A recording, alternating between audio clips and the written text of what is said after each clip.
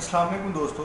دوستو، میں ہوں ادریس سلیری اور یہ میرا یوٹیوب چینل ہے زفروال میڈیا۔ دوستو، آج میں آپ کو بہت ہی زبردست قسم کی ویڈیو کو طرف لے کے چلتا ہوں، جس میں آپ کو آپ کی زندگی کے بارے میں کچھ ایسی چیزیں، ایسی باتیں بتائی جائیں گی جس کے استعمال سے آپ زندگی ایک خوشگوار طریقے سے زندگی گزار سکیں گے، جس کو میں نے خوش رہنے کے فارمولے کا نام دیا۔ دوستو، یہ خوش رہنے کے کچھ ایسے فارمولے ہیں جن کے استعمال سے آپ اپنی زندگی میں ایک اچھے پہلو، اپنی زندگی کو ایک بہتر طریقے سے، اپنی زندگی میں دنیا اور آخرت دونوں کے حوالے سے آپ بیسٹ کر سکتے ہیں، اپنی زندگی کو بہتر سے بہترین کر سکتے ہیں اور ان فارمولوں کو اپنی زندگی میں ایڈ کریں اور انشاءاللہ ان کا رزلٹ دیکھیں۔ اگر آپ خوش رہنا چاہتے ہیں تو ایک بار ان باتوں کو، ان چیزوں کو، ان جو میری بتائی گئی باتیں ہیں، ان کو غور سے سنیں اور ان پر عمل کر کے دیکھیں۔ انشاءاللہ آپ اپنی زندگی میں خود بخود چینج دیکھیں گے۔